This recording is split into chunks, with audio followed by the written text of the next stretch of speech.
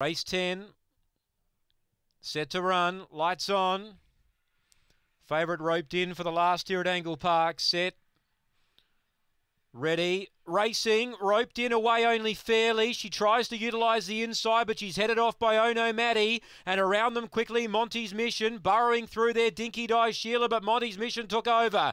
Running to fourth, Vibrant Lee, out the back, to Destini Ninja and roped in back to last. Monty's Mission led.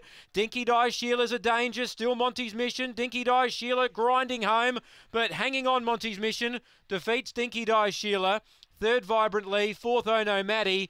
And uh, the second, uh, well, second last in was Destini Ninja and roped in once she couldn't lead, she couldn't win. 22.79 the time.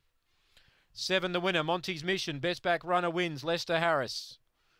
Five, Dinky Die Sheila second.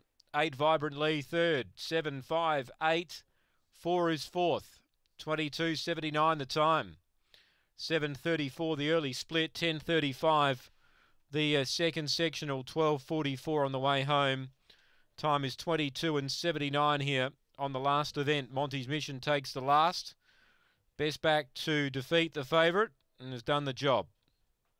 So nice little win by uh, the winner, number seven, Monty's Mission. And the time is 22 and 79. So we stand by for more on the last event, 7584 on race 10.